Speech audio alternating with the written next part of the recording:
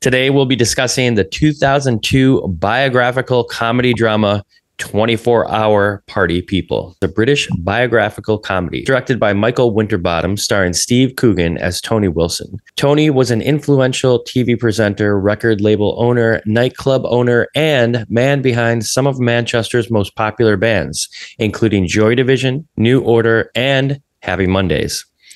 The film looks to tell the story of the Manchester music scene and the bands and people within it.